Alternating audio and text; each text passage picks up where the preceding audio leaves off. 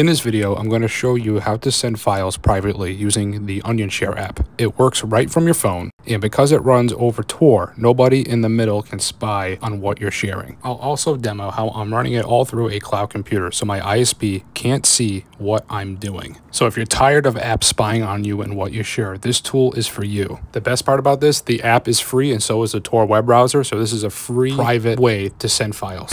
Disclaimer, this video is for educational purposes only. I do not condone any illegal activity. This is for privacy only. First thing you're gonna do is go to the App Store and download the OnionShare app. This is free. It should be available both iOS and Android. Once you download the app, you're gonna click on it and you're gonna click on Add Files.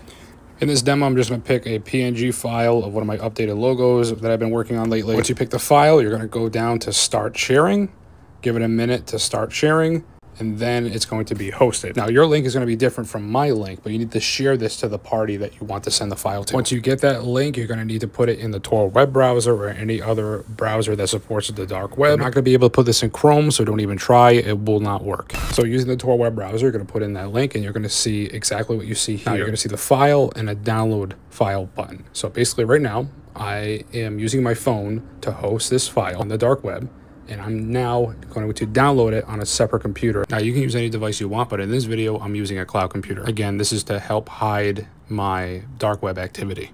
Now the rest of this should be pretty familiar to you. You're just to go to your folder where you saved the file and you are able to view it, just like any other download you would ever done. So that's the picture. This is one way you can use the dark web for good. And that's it. It's that easy. Why is this important? Privacy is not just a buzzword anymore. It's about control. Every app on your phone every service you log into is collecting something about you. Sometimes it's harmless, but too often it's used to track, profile, and even sell your data. That's why tools like OnionShare matter. They give you a way to share files directly, privately, and securely without letting some third-party app spy on what you're doing.